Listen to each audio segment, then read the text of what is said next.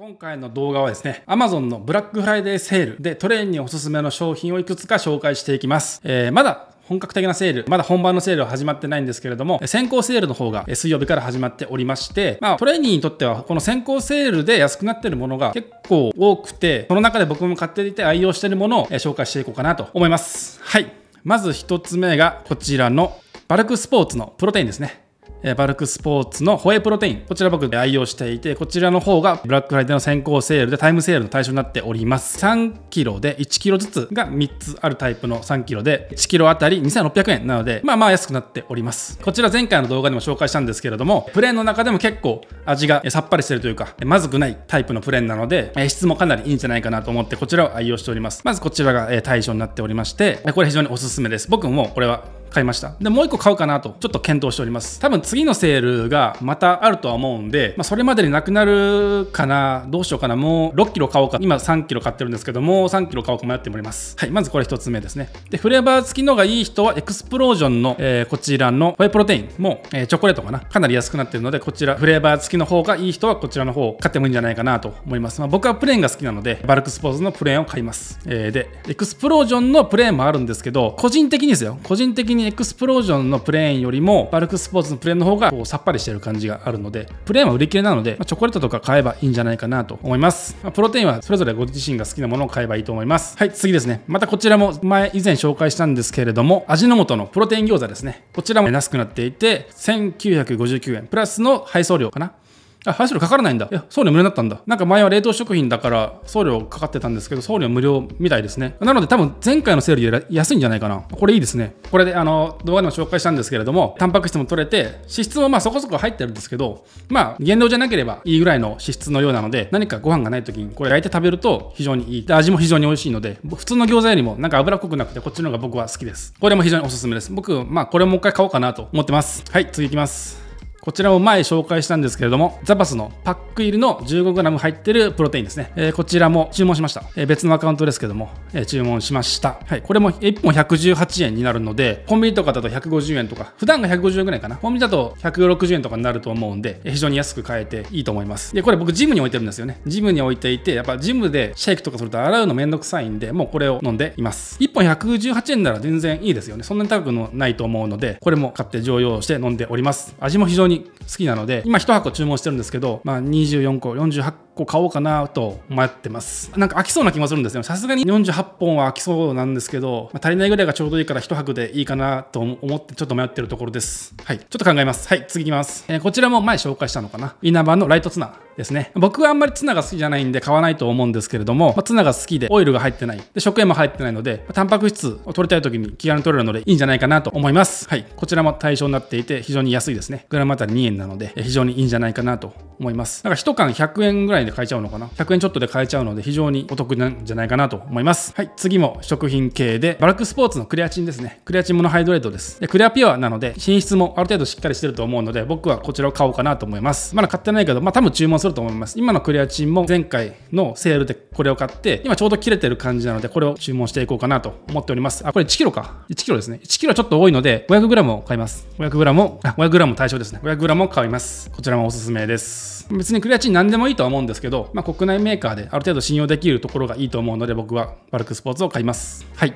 じゃあ次いきます。えー、次からはガジェット系ですね。えー、これも以前おすすめしたんですけれども、持っていて、これ非常におすすめなエコースタジオですね。こちらが22,980円だ。23,000円ですね。これ僕今使ってるんですけど、これ音めちゃくちゃいいです。リビングに置いて使ってるんですけど、こう、広がりがある音っていうのがなんかこう、わかる感じがします。なんか最初聞いた時はなんだそれと思ったんですけど、1個置くだけで、なんかこう、空間全部で音楽鳴らしてる感じがするんですよね。立体感があるっていうか。で、5つスピーカーが入ってるみたいなので、なんかこう、臨場感というか、ウーハーかな低音もしっかり出るので、まあ、マンションとかアパートで大音量だとちょっと厳しいとは思うんですけど、かなり低音も出て迫力のあるサウンドで聞くことができるので、これ非常におすすめです。普通の価格が3万円で、ブラックフライデーで2万3000円なので、前回のセールで僕が買ったんですけど、まあ、2万3000円だったら非常にいい価値、コストパフォーマンスいいんじゃないかなと思います。これもおすすめです。で、こちらも前紹介したんですけれども、はい、こちらのアンカーのマグネティックバッテリー、マグゴーですね。こちらですね、今使ってるんですけれども、このように、まあ、スタンドの充電器にもなるんですけれども、スタンドで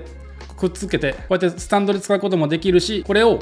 こうしたらモバイルバッテリーになるんですね。でこのまま持ち運んで話すこともできるっていうめちゃくちゃ便利なものなので、これは非常におすすめです。これはね、絶対買った方がいいです。あの iPhone 買ってる方なら、これはね、めちゃくちゃ便利です。モバイルバッテリーとしても使えるって。ケーブルレスじゃないですか、結局。だから、物も減る。出先でも非常に扱いやすいですし。で、今回は、これのもう一個上の商品、ちょっと出力が高くてあのスタンドのところがしっかりしてる。この足のところはしっかりしてるやつが出てるので今回はこちらを僕は買おうかなと思いますこれ注文しました。こちらの方が多分スタンドとしてはちょっと強くなるので家をこれにしてジムでこの今使ってるやつを使おうかなと思っております。はい。これもえー、実際使ってみて非常におすすめなので皆さんぜひ買ってみてください。マグゴーいいです。次が、えー、これも買ってみたんですけど、まだ届いてないんですけれども、ユーフィーの車用のハンディクリーナーですね。僕、アンカー信者なんで、もうアンカーすごい信頼してるんですけれども、こちら、あの、コードレスの充電式のハンドクリーナーですね。まあ、車でも使おうとは思ってるんですけど、まあ、車とかあとはあの窓のサッシ、溝とかがあるじゃないですか。あ、ここで使おうかなと思ってます。あと階段黒で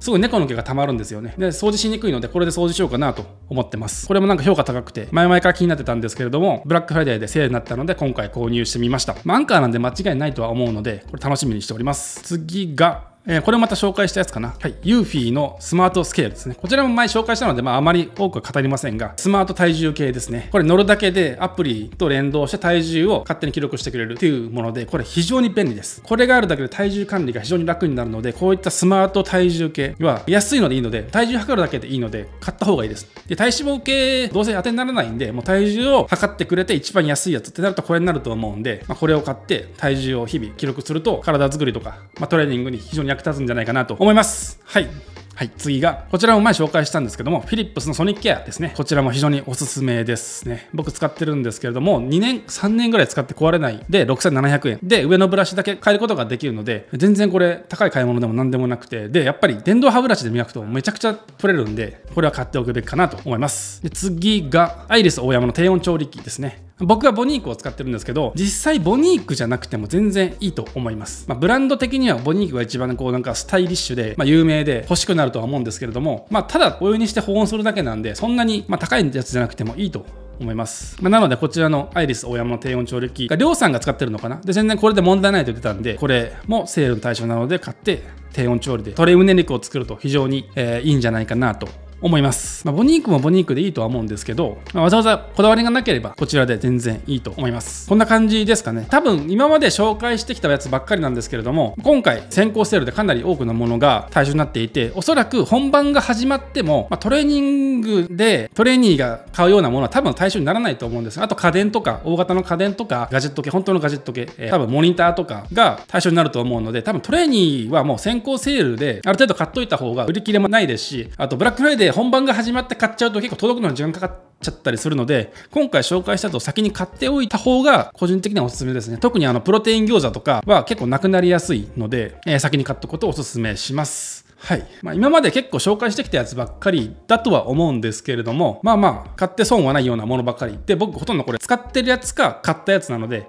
まあ、自信を持ってお勧めできるので皆さんもぜひ気になるものがあればこの機会に買ってみるのをお勧めします。はいそんな感じで今回はブラックフライデーの先行セールトレーニーにおすすめのものを紹介しました。皆さんもぜひ買ってみてください。ちょ質問コーナー行こうか。ちょっと質問探します。すいません。えー、っと質問が40代50代の筋トレで気をつけるべきことはありますかっていう質問をいただきました。40代50代の方の筋トレは一番気をつけるべきは怪我ですよね。怪我だと思います、まあ、僕も今33で40代になったら、まあ、まず怪我とか疲労とかに気をつけないといけないかなと思います。まあ、僕も今33で20代の頃よりもやっぱ怪我の回復とか疲労感の抜けが遅くなってきた気がするんですよね。まあ、なのでこれが40、50ってなったらさらに怪我の治りだったり、その疲労のたまりだったりの回復が遅いと思うので、まあ、そういったものをしっかりケアしながらやっていくことが一番大事なんじゃないかなと個人的には思います。やっぱ怪我しちゃうとトレーニングできなくなっちゃうんで、それは避けたいですよね。まあ、なので無理せず、怪我を防ぐっていうのをまず第一にして継続していくってことを大事にしていった方がいいんじゃないかなと思います。以上です。また次の動画でよろしくお願いします。ありがとうございました。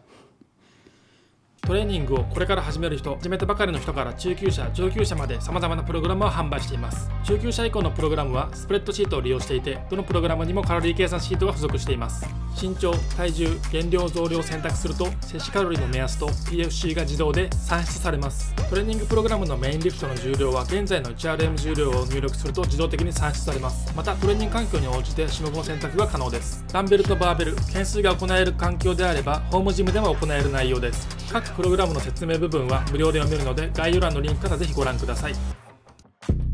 like zero degrees. I'm out the cage, gotta let out the beast. Revolutionary, gotta let out the streets. Locked in a cage, I'm